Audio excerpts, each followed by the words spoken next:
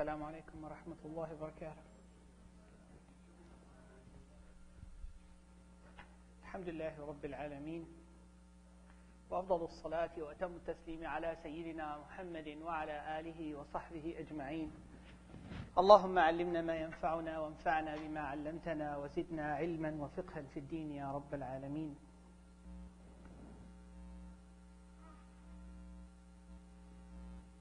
اللهم افتح علينا بحكمتك وانشر علينا برحمتك يا ذا الجلال والإكرام بسم الله الرحمن الرحيم We continue inshallah after a long pause our study of the life of Ibrahim alayhi salam as Allah subhanahu wa ta'ala mentioned and praised Ibrahim alayhi salam in many sites in the Quran and Allah subhanahu wa ta'ala said that Ibrahim is Khalil al-Rahman واتخذ الله إبراهيم خليلا He is the friend of Allah subhanahu wa ta'ala and Allah subhanahu wa ta'ala made him Imam nas made him the leader for humanity Allah subhanahu wa ta'ala said وَإِذِ ابْتَلَى إِبْرَاهِيمَ رَبُّهُ بِكَلِمَاتٍ فَأَتَمَّهُنْ قال إني جاعلك للناس إماما قال ومن ذريتي قال لا ينال عهد الظالمين Allah subhanahu wa ta'ala said, and remember that Ibrahim was tried by his Lord. He was tried by Allah subhanahu wa ta'ala with certain commands. We would, inshallah, we will go through some of them tonight. Which he fulfilled and said, Allah said, I will make you, Ibrahim, an imam to mankind. And Allah subhanahu wa ta'ala said that in the progeny of Ibrahim alayhi salam, Allah limited after him prophethood and the revelation. All the revelation, all the prophethood came after Ibrahim alayhi salam. And we see that in the uh, progeny, in the family tree of Ibrahim, if you will, you will see all the prophets and the messengers of Allah subhanahu wa ta'ala that Allah sent to humanity and mankind after Ibrahim alayhi salam. And the importance of Ibrahim alayhi salam is enormous for our religion of Islam. And we know how we mention Ibrahim alayhi salam in every prayer and in every time we mention uh, Rasulullah sallallahu alayhi wasallam at the end of each salah. We studied how Ibrahim alayhi salam lived in the area of uh, Iraq, southern Iraq today, in the Mesopotamia, in the uh, cradle of civilization, and uh, how he then uh, faced the tyrants and the pagans uh, of his people. And then Ibrahim alayhi salam made his hijrah, made his immigration to Allah subhanahu wa ta'ala, send him to the Holy Land. Allah subhanahu wa ta'ala mentioned that hijrah in the Quran, فآمن له لوط وقال إني مهاجر إلى ربي إنه هو العزيز الحكيم and Lut had faith in Ibrahim. Lut submitted to the faith of Ibrahim. And then he said, I will leave home for the sake of my Lord. I will make the hijrah for the sake of Allah subhanahu wa ta'ala. For he, Allah, is exalted in might and wise.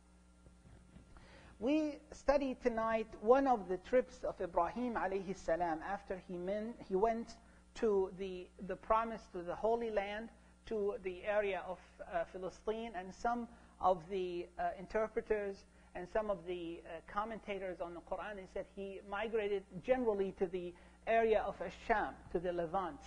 And uh, most agree that he settled definitely in Philistine. May Allah lift the calamity over Philistine. And uh, mostly in the town of Hebron. And this town of Hebron is known today as Al-Khalil. It's got its name after the Prophet of Allah, Ibrahim alayhi salam, Khalilur Rahman.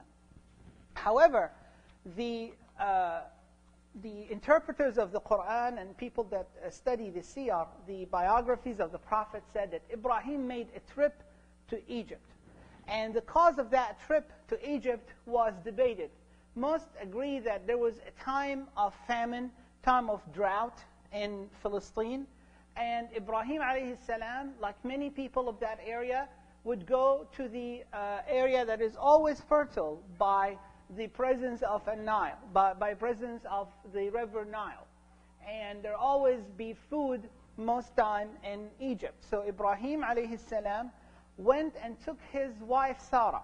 And Sarah uh, is uh, the wife that immigrated with Ibrahim alayhi salam from his home country, from uh, Mesopotamia. And Sarah was described in these books of Asiyah as one of the most beautiful women on the face of the earth.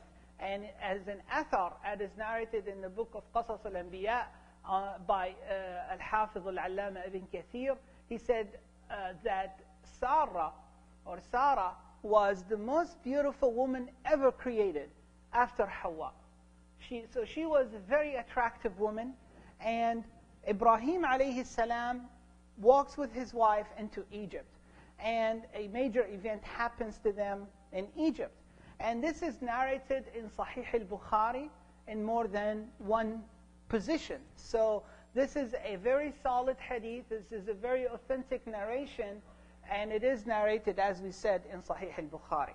One of the hadith that was narrated upon what the incident that happened to Ibrahim and Sarah in Egypt, that the Prophet ﷺ said that Ibrahim had to tell lies three times.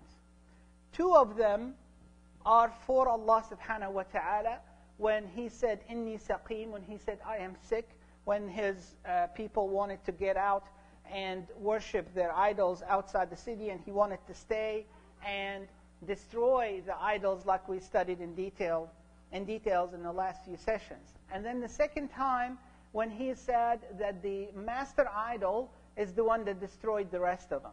But our story is actually in the third time that Ibrahim alayhi salam had not to tell the truth, the whole truth. And it is uh, narrated in Sahih al-Bukhari on the authority of Abu Hurairah radiallahu anhu that the Prophet sallallahu alayhi wa said, وَقَالَ بَيْنَ ذَا هُوَ ذَاتَ يَوْمٍ وَسَارَ إِذْ أَتَى عَلَى جَبَّارٍ مِنَ الْجَبَابِرَةِ The Prophet sallallahu alayhi wa said, that one time when Ibrahim and Sarah, his wife, were going on a journey, they passed by a territory of a tyrant. And that tyrant, most of the interpreters and most of the scholars agree that it was in Egypt. And they, they conclude that from the end of the story. So we, we uh, for the uh, sake of our uh, benefit, for our session, say he was in Egypt at that time. But the Prophet ﷺ, he said they passed by a Jabbar, by a tyrant of Al-Jababira. And then the people around that tyrant told him, this man who just came to town, Ibrahim, is accompanied by a very charming lady. So the beauty of Sarah, alayhi salam, has attracted, has uh, got the attention of this tyrant. So Ibrahim was asked, who is she? Who is this woman that is with you? And Ibrahim alayhi salam, with his uh, insight, with his intelligence, knew the intention of that question. So if he tells them that this is my wife, and that tyrant wants Sarah, what is the best way to get to Sarah? Is to get rid of Ibrahim alayhi salam, is to kill Ibrahim. And he will not benefit anything if he tries to, he's in, in, a, in a land that he has no defense, he's an immigrant, he's weak, and here is this tyrant trying to take Sarah. So when he was asked, who is this woman with you? Ibrahim said, Hiya ukhti. She is my sister. And that is counted as one of the three lies that Ibrahim alayhi salam is told. But Ibrahim alayhi salam, and according to most of the scholars, again, he said this was his sister. There was only two people that professed the religion of Islam in that area. It was him and his wife. So the only sister in Allah he has in that area was his wife, Sarah. And when he said, he ukhti, he, she was his sister in Islam. He was his sister in his religion. But he wanted them to believe that she is his biological sister. So the hadith continues, and then he came to Sarah, and he said to her, Ibrahim alayhi salam, قال يا سارة ليس على وجه الأرض مؤمن غيري وغيرك وإن هذا سألني فأخبرته أنك أختي فلا تكذبينني Ibrahim alayhi salam said, he went to her, he said, Oh Sarah, there are no believers on the surface of this earth except you and I. This man asked me about you, the tyrant asked me about you, and I have told him that you are my sister. so do not contradict my statement. So he's telling her, You are my sister. You, you, you don't have to say anything that is not true because there is nobody else than, other than you and me, believers on the face of the earth. So the tyrant then called upon Sarah. فأرسل إليها. So he kidnapped basically Sarah and he uh, wanted to have her. And when, when Sarah came upon him, فلما دخلت عليه ذهب يتناولها بيده. When he uh, was alone with Sarah, alayhi salam, this tyrant, this aggressor, wanted to have her, and he stretched out his hand to get Sarah. And another hadith, again on the authority of al-Bukhari, uh, on the authority of Abu Huraira in Sahih al-Bukhari, that before she, she came, now here's this believer, this woman believer, alone with one of the most aggressive tyrants on the face of the earth. So how does she face that tyrant? She makes wudu for Allah subhanahu wa ta'ala. فَتَوَضَّأَتْ وَصَلَّتْ And then she prayed to Allah subhanahu wa ta'ala, and then she made a dua. And then she said in that dua, فَقَالَتْ اللَّهُمَّ إِن كُنْتُ آمَنْتُ بِكَ وبرسولك وأحصنت فرجي إلا على زوجي فلا تسلط علي الكافر. She said, Oh Allah, if you know that I truly believe in you, and if you know that I truly believe in your messenger, and if you know that I have kept my chastity safe except for my husband, then do not let me, me be a victim of this tyrant. So she took refuge in Allah subhanahu wa ta'ala. She took refuge in the one that will not turn away anyone that takes refuge in him, and that is Allah subhanahu wa ta'ala. So as this tyrant was stretching his hand to touch Sarah, Rasulullah sallallahu alayhi wasallam said in one hadith, فَأُخِذْ He was paralyzed. He cannot move his arm. He could not do anything. And then what did he say to Sarah? He knew something abnormal is going on. He said, ادعِ الله لي ولا أضرك. Pray to Allah for me. Pray to your Lord. And I will not harm you. So she prayed to Allah to leave him. And he has his strength back. And then he tried again. And this second time was even worse than the first time. فَأُخِذْ The Prophet ﷺ said he was paralyzed. He was taken. And then he said, ادعِ الله لي ولا أضرك. And then he said, pray to, for me and I will not harm you. So she prayed. And he was back to his strength. And then he sees this most beautiful woman in front of him. And he tries a third time. And it was even worse. In one hadith, in the second hadith I was talking about, the Prophet ﷺ said, فَغَطَّ حَتَّى رَكَضَ بِرِجْلِهِ He was taken and he was kicking like he was having a seizure. If you ever seen somebody who's having a seizure, they, they kick. They kick the, the, the ground, they kick the floor. And they're just completely no control over their, their senses. And the Prophet ﷺ said, فَغُطَّ حَتَّى رَكَضَ بِرِجْلِهِ he, he was taken and he was taken away until he was kicking with his feet. He had absolutely no power. Who has the power? Allah subhanahu wa ta'ala. And this tyrant thinks that he can do whatever he wants. And then in the last time he said, Pray to Allah and I will not harm you. So she prayed to Allah to leave him alone. And she prayed Allah subhanahu wa ta'ala in this in the second hadith he said, Allahumma in yamut yuqalu hiya qatalathu. Oh Allah, if he dies, they will think that I killed him. She doesn't, she just wants to, to be safe. She doesn't want to, to kill him. She just wants to protect herself and her chastity and her honor as a Muslim woman. So, and the last time after he was released from what Allah subhanahu wa ta'ala afflicted him with, he said, Wallahi ma arsaltum ilayya illa shaytanan. You just send me an evil soul. He called his, his guards and he said, she's, she's, I will not she's evil. Of course, we know who's the evil person. But this is the twisted mind of the tyrants. They think that anybody who opposes them, anybody who goes against them, even if they are the most righteous people, like Sarah alayhi salam, they think they are evil. They have everything, all these scales completely twisted in their minds. And he said, أرجعوها إلى إبراهيم. Take her back to Ibrahim. But he was completely taken by what happened to him.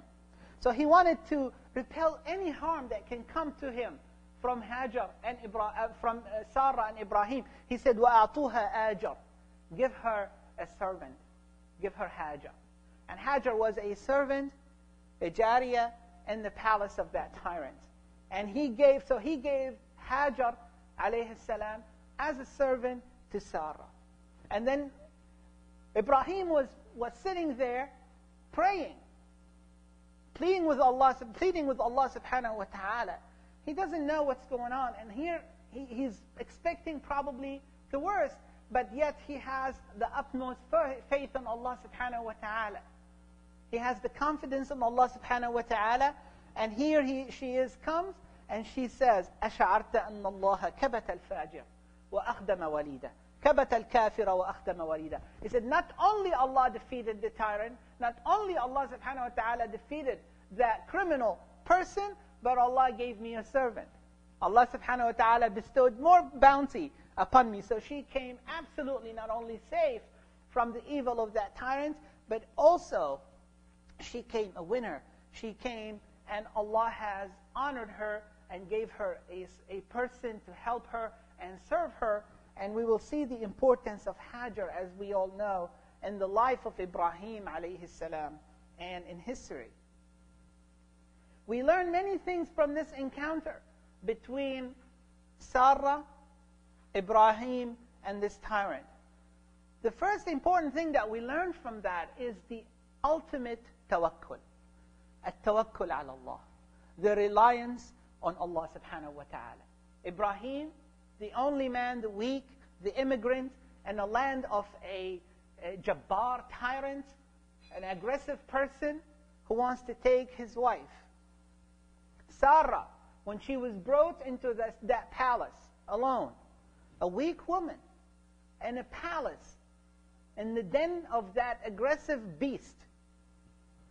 And here she is, alone, with that person in that room.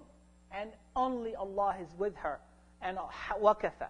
And Allah is enough. وَمَن يَتَوَكَّلْ عَلَى اللَّهِ فَهُوَ حَسْبُهُ Those who rely on Allah subhanahu wa ta'ala, Allah is enough for them. And that is the, the true tawakkul. They tried whatever they could to protect themselves. Ibrahim even had to, to show, to, to trick them and said, she's my sister. Maybe he can protect himself. Maybe he can protect her. They tried what they could. They did their part. But they had the ultimate tawakkul, the ultimate reliance on Allah. The second lesson that we learn from this encounter, إِنَّ اللَّهَ يُدَافِعُ عَنِ الَّذِينَ آمَنُوا That Allah defends the believers. The believers need no defense other than Allah subhanahu wa ta'ala. إن الله يدافع عن الذين آمنوا إن الله لا يحب كل خوان كفور Allah does not like the betrayal unbeliever. And the last, one of the last things that we, we learn from this study is the importance of good deeds. فضل العمل الصالح. The, the value of what we put before Allah subhanahu wa ta'ala. What did she pray, Sarah? How did she pray to Allah subhanahu wa ta'ala? She pleaded with Allah by her good deeds. She said, Allahumma in kunta ta'lam أني قد آمنت بك وبرسولك وأحصنت فرجي إلا على زوجي فلا تسلط علي هذا الكافر. She said, Oh Allah, if you know that I truly believe in you and your prophet, and I have kept my chastity, my honor. See, she is telling Allah subhanahu wa ta'ala what she is doing right. And she's putting her case before Allah subhanahu wa ta'ala with her good deeds.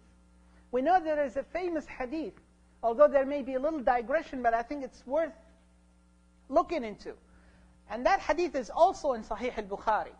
That the Prophet sallallahu alayhi wasallam, on the authority of Abdullah ibn Umar, may Allah be pleased with both of them, he said that three people were trapped in a cave and a big rock dropped while they were resting in a cave on a journey, a big rock dropped and occluded and stopped up the exit from that cave. So three people, a huge rock, they're trapped inside the cave and they cannot do anything. And they're going to stay there until they starve and die. So they're waiting for Allah. Again, Hasbi Allah wa ni'mal wakil. We see the importance of Hasbi Allah wa ni'mal wakil in the life of Ibrahim alayhi salam. Allah is enough for me. And He is the best that we can rely on. So these three people were sitting in that cave, and the rock was occluding the cave, and they started asking Allah and pleading before Allah subhanahu wa ta'ala with their good deeds. Just like Sarah did before Allah subhanahu wa ta'ala. So this is the importance, brothers and sisters, of us to keep in our credit some good deeds. So when we are in trouble, we can call upon Allah subhanahu wa ta'ala with something. We can put something before Allah subhanahu wa ta'ala to call Him. And they, one of them said that I had, uh, my parents were old, well, elderly, and I will not drink anything or eat anything before they start it, before they take it. And one time, I came to them in the morning and I had a cup filled with milk. And I waited, and they were asleep. So I just stood there. I didn't drink anything of it until they woke up. And I made sure that they drink before I do, and after they got their fill, then my family and myself can get any of it. Oh Allah, if you know that I did this for your sake, then lift this calamity. So the rock moves a little bit. The second person said, I had a cousin, I had a relative, that she was the most beloved person on the face of the earth for me. And she was married to someone else. And I was a rich person. And one time, in one year, there was a lot of calamities, a lot of famine. And she came to me asking me for help. And I gave her 120 dinar and I said, That gold is yours if you give yourself to me. So, because of that calamity, because of that hunger and starvation, she agreed so she can feed her family. And he said, And I was about to do the thing that Allah doesn't want me to do. She said, Do not take anything that is not of your right. So he said, And I remembered Allah. And I step back and I tell her, take the money, take the gold, and go for the sake of Allah. Oh Allah, if you know I did that only for you, then lift this calamity. So the rock moves a little bit more. And then the last person said, Salam He said, I had a servant and somebody worked for me. And then I used to pay the people that worked for me immediately. And then this person left before I paid him.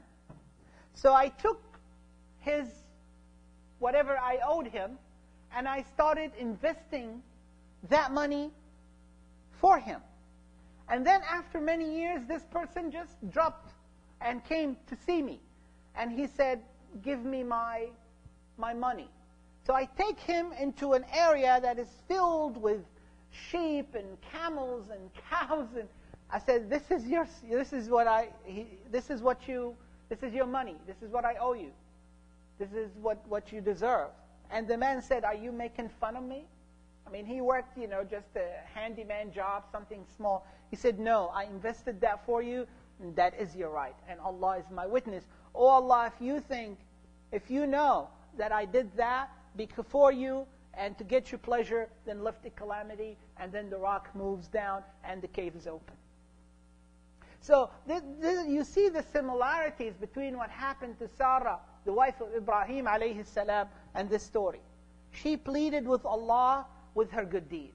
And that is an important lesson we learn from that story, is we have to have some good deeds.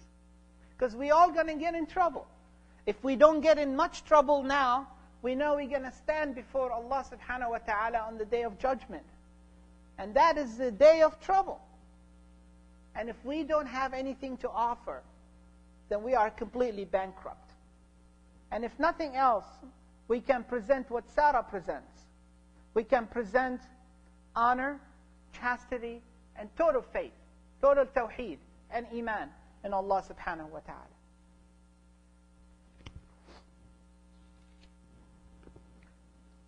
Then Ibrahim alayhi salam takes his wife Sarah and their new servant Hajar and he goes back to the Holy Land of Palestine. And he lives there. And most of the scholars agree that Ibrahim at that time was older, was sheikh. He was in his 80s, according to some scholars.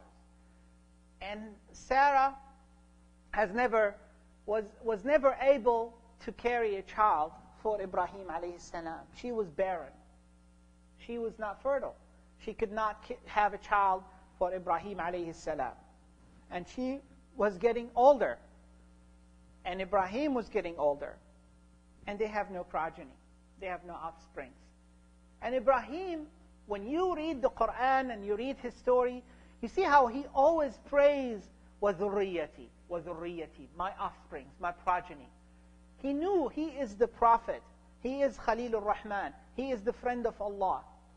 And upon his progeny falls the responsibility of prophethood, of revelation, or delivering the word of Allah to humanity. And he was so anxious to have someone that will carry his message, the message of Allah, to people. And Sarah, as much as she loved Ibrahim, she could not do that. And she knew what he wanted. And out of her love to him, she did something that is unthinkable. Many women, the most women, you see the, the, the level of sacrifice that she had. She asked Ibrahim to marry Hajar, marry her servant. So maybe Hajar will be able to conceive and have a child for Ibrahim alayhi salam. And it did happen. Ibrahim alayhi salam takes Hajar from a servant to a wife, and she was able to conceive by the will of Allah, and she have a child. She has a son for Ibrahim, and that son was named Ismail, alayhi salam. In Sahih al-Bukhari, there is a very long hadith. A long hadith that we will try to go through it tonight, but I think time is limited. We may have to uh, to uh, go maybe over one other session to finish it. This hadith tells us the story of Ismail, the story of Hajar, the story of Ibrahim, and the tribulation that Ibrahim, his life is filled with tribulation and trials, but that tribulation that he had to go through with Ismail and Hajar alayhim salam. On the authority of Abdullah ibn Abbas radiallahu anhuma, he said, the Prophet sallallahu alayhi wasallam now, this hadith, you will see, just also a side note there, that some of the scholars consider it as a hadith marfu', meaning it is, it is not exactly the words of the Prophet ﷺ in the entire hadith, it is the words of Ibn Abbas, taken from the Prophet ﷺ, and then Ibn Abbas, during the hadith, will refer to some phrases that he heard from the Prophet ﷺ. But it is an authentic, solid hadith, and the Al-Bukhari put it in his book because the authenticity is extremely high, and the authority of Abdullah ibn Abbas is extremely high in our religion. So Abdullah ibn Abbas, the start the hadith, that the first woman that used a girdle, something she wraps around her, and it's, it's a long dress, uh, was the mother of Ismail, which is Hajar alayhi salam. And he said she used the girdle, a girdle so that she might hide her tracks from Sarah. So immediately you understand that although these are Sarah, Hajar, these are human beings. And there was some jealousy between Hajar and Sarah. So although Sarah herself gave Hajar to, to Ibrahim alayhi salam, yet she really hated it. She did not like that her beloved husband go with this woman all the time. She did not want Hajar to be with her husband. And so when Hajar wants to go back and forth to, to Ibrahim alayhi salam, she used to wear that long dress, and so she, the, the, her footsteps, the tracks, the, the footprints will be erased as the dress drags behind her. So Sarah would not, would not get jealous.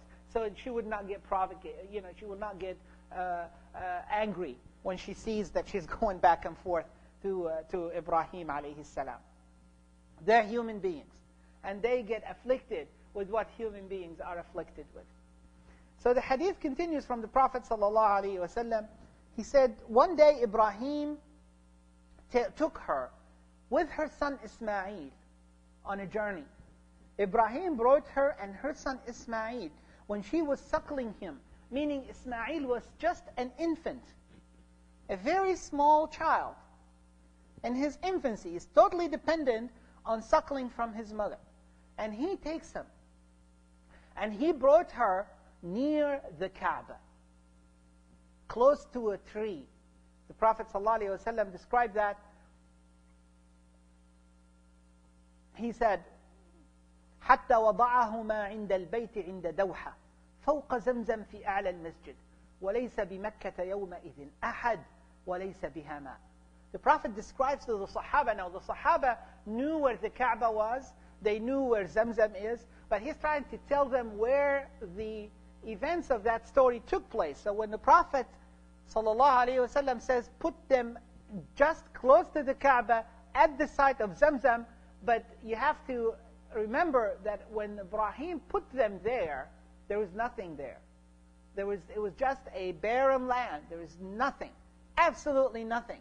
And there is no water, as the Prophet said. وَلَيْسَ بِمَكَّةَ أَحَدٍ There is no soul that lived in Mecca at that time. And there is no water. How could people live there if there is just not one drop of water in that area? And people that went to Mecca, you know how harsh the geography is and how hard the environment is. And if it is not for the well of Zamzam and the water of Zamzam, Mecca would never have a life. So Rasulullah is explaining that to us. And he said, then he put them there, and he put a sack of date, وَضَعْ عِنْدَهُمَا جُرَابًا فِيهِ تَمْرٌ وَسِقَاءٌ فِيهِمَا And then a bottle, not a, not a bottle, but it's just a, a sack filled with water. Right? And he turned and he started walking away. said, ثم قفى إبراهيم منطلقا. Then he just turned around and he started walking away. فتبعته أم إسماعيل. So the mother of Ismail started walking after him. She said, يا إبراهيم أين تذهب؟ وتتركنا بهذا الوادي الذي ليس فيه إنس ولا شيء why are you leaving us in this valley that there are no human beings and there is nothing there? There is absolutely nothing. Oh, Abraham, where are you going, leaving us in this valley where there is no person whose company we may have, nor there is anything? Then she repeated that to him many times, and he is not responding. He's not even looking at her. Why is that? Because Allah described Ibrahim in his book, Inna Ibrahim la'awahun halim. Ibrahim has a lot of passion. He's a very compassionate person. And he is given an order by his Lord. You go do this to your wife and your infant. So he's going to do it. But he was concerned that if he looked at them, if he looked at his wife pleading with him, he may get weak. He may feel that sympathy for his infant. He doesn't know what's going to happen. And he may get weak, and so he would not even look at her. He would not even look at his son as he was walking away. So he can fulfill the commands of his Lord with no hesitation. He feared that he might hesitate if he looked at his wife. And then it occurred to Hajar to ask him that question. And she said, Allahu amaraka bihada? Has Allah ordered you to do so? And Ibrahim said, Bala, Naam. Yes, Allah asked me to do. Allah ordered me to do that. Allah commands me to do this. So what did this believer say? What this woman who is a believer in Allah, his, her belief in Allah is much higher than her belief in her husband or anybody else. Her dependence is on Allah. It's not on water. It's not on plants. It's not on food. What did she say to her husband? He said, فَإِذًا لَا يُضَيِّعُنَا Then if Allah asked you to do this, if Allah ordered you to do this, then Allah will not neglect us. Allah will not let us go astray. Allah will, let us, will not let us be wasted. ثم رجعت. Then she went back to exactly the spot where Ibrahim alayhi salam put her in. فانطلق إبراهيم. And Ibrahim kept walking. حتى إذا كان عند الثانية and the Prophet ﷺ is telling the Sahaba exactly where these things happen and then he said he at, as he turned the corner in a certain place where she cannot see him she cannot see the distress he was in she cannot see how much he was suffering then when he was where he cannot be seen by his wife he said استقبل بوجهه البيت he turned his face towards the qibla ثم دعا بهؤلاء الكلمات and then he prayed to Allah subhanahu wa ta'ala with these words that Allah subhanahu wa ta'ala put in the Quran in Surah Ibrahim verse number 37 ربنا إني أسكنت من ذريتي بواد غير ذي زرع O Allah, O our Lord, I have made some of my offsprings to dwell in an uncultivated valley by your sacred house. So he's telling Allah, he's, Allah is all knowing. He's putting his case before Allah subhanahu wa ta'ala. And he, this is also an evidence that the ulama said that Ibrahim knew exactly where the Kaaba is. The Kaaba was not built at that time, but Ibrahim knew that this is the spot of Al Kaaba. This is the house of Allah. Why does he do that? What is the, the purpose of all of that? رَبَّنَا لِيُقِيمُوا الصَّلَاةِ O Allah, so they may perform salah. It is to elevate the word of tawheed. He said, I will, I'm sacrificing my wife, I'm sacrificing my son, the only son I have, so your word can be high. So your religion can be spread, as you told me, as you commanded me. لِيُقِيمُوا الصَّلَاةِ And then he prayed. فاجعل أفئدة من الناس تهوي إليهم وارزقهم من الثمرات لعلهم يشكرون So fill some hearts among men, among people with love towards them. And oh Allah, provide them with fruits so that, may, that they may, may give thanks, so they may praise you.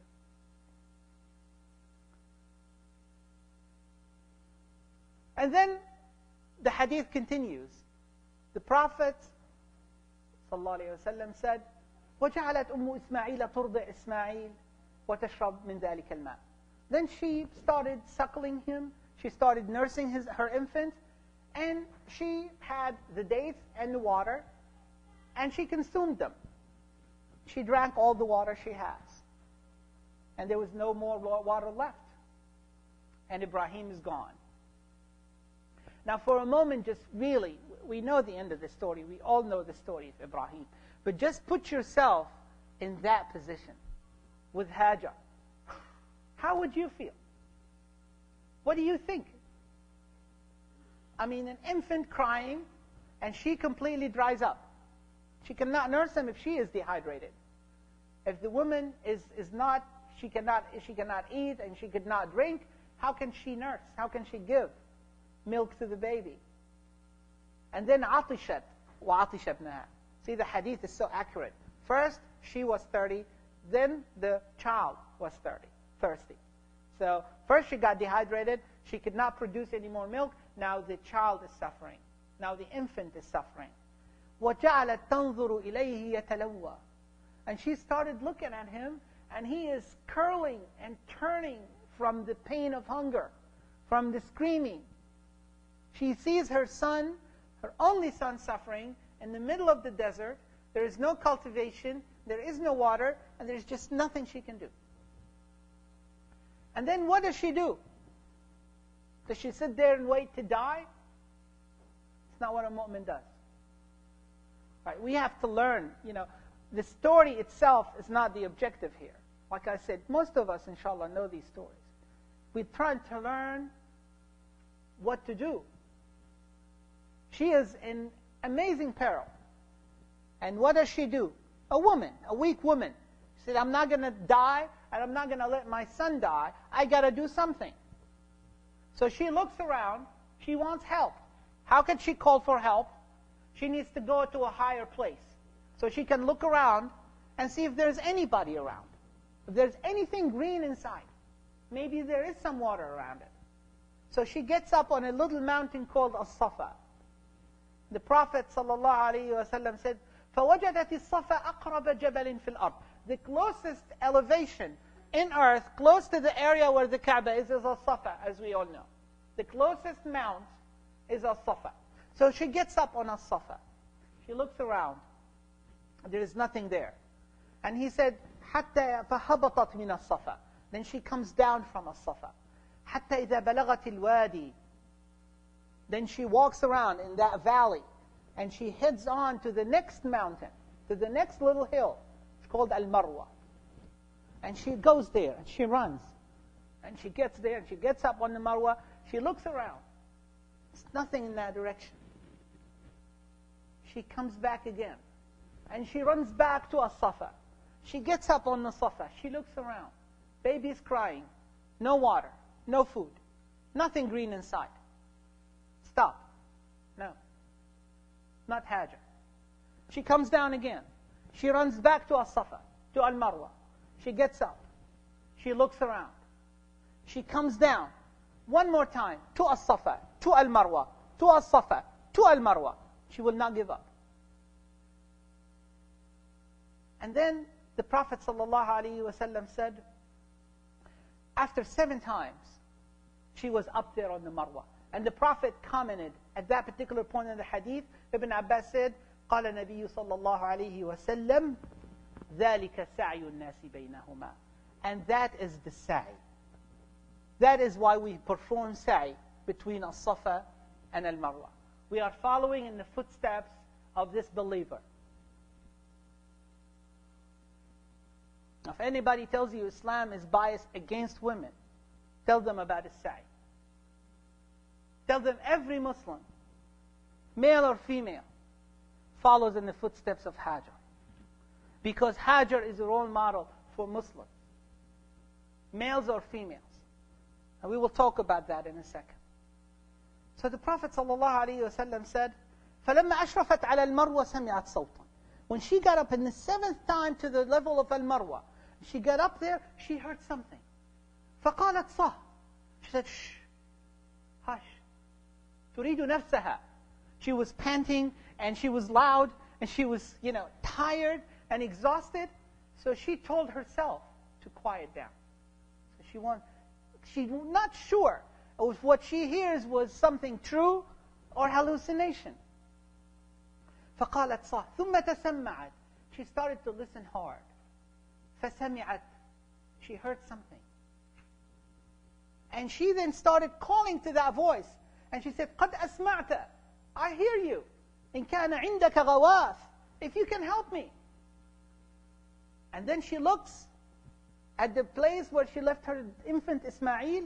And the Prophet ﷺ said, فَإِذَا هِيَ بِالْمَلَكِ عِنْدَ مَوْضِعِ زَمْزَمْ And there is an angel at the site of Zamzam.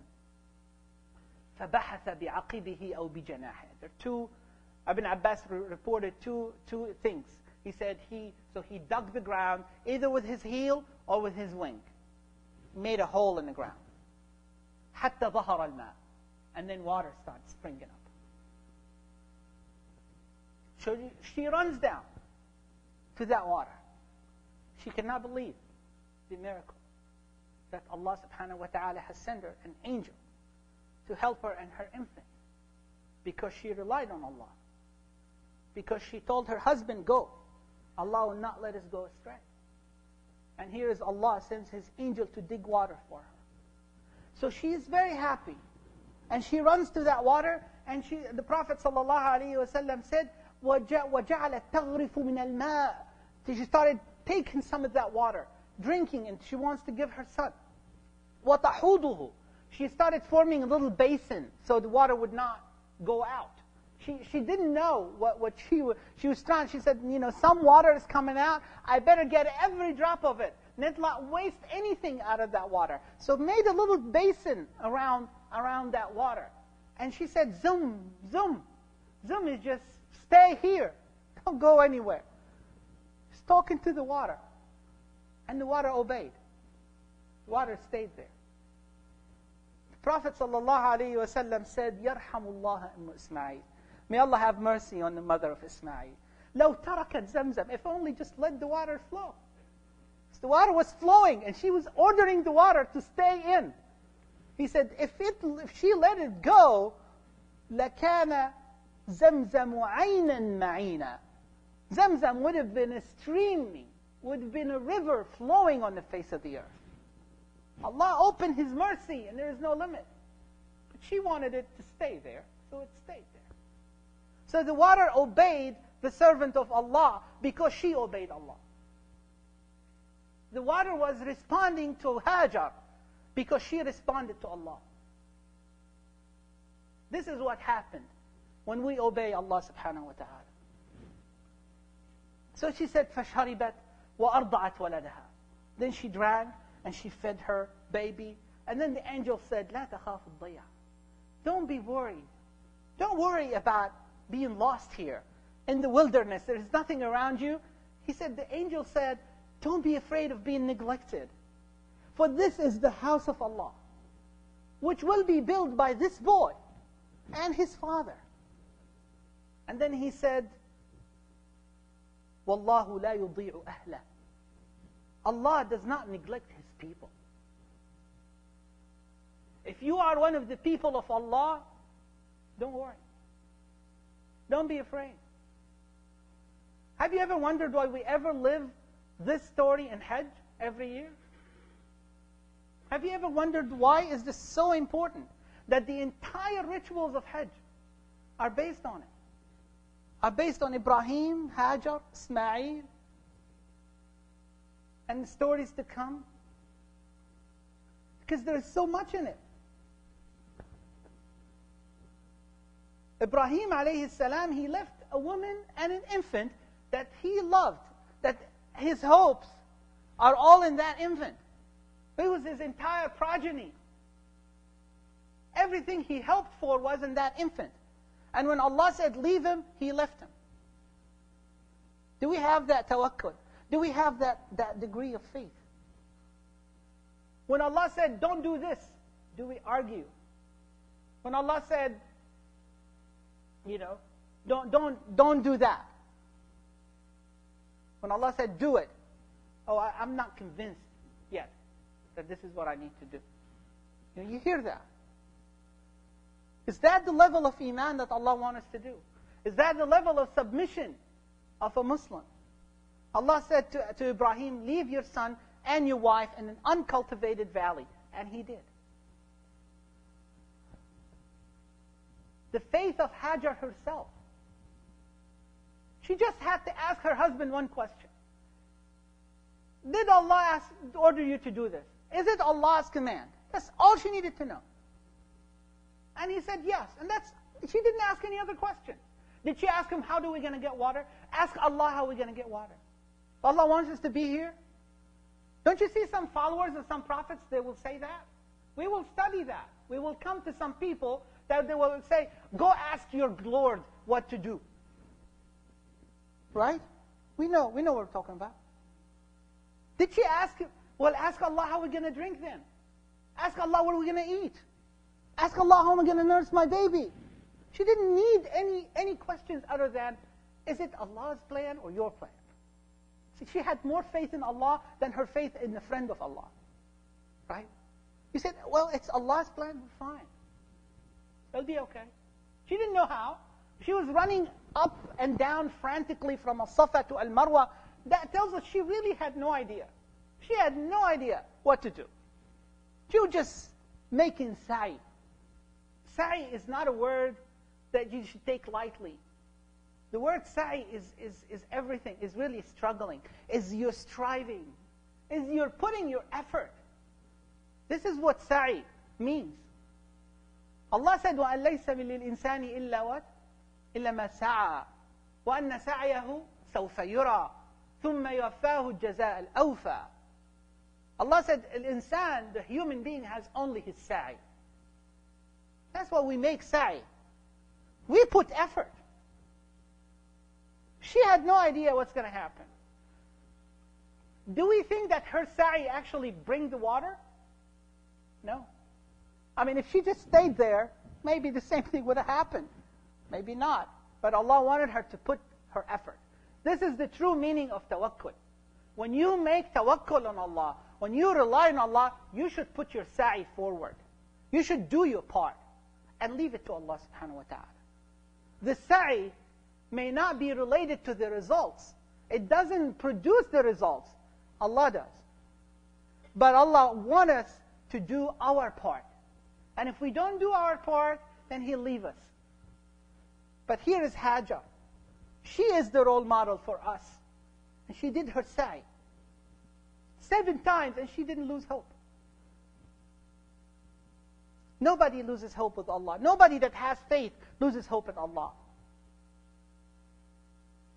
The next long story we're going to have, inshallah, is the story of Yusuf and Yaqub, his father, Jacob.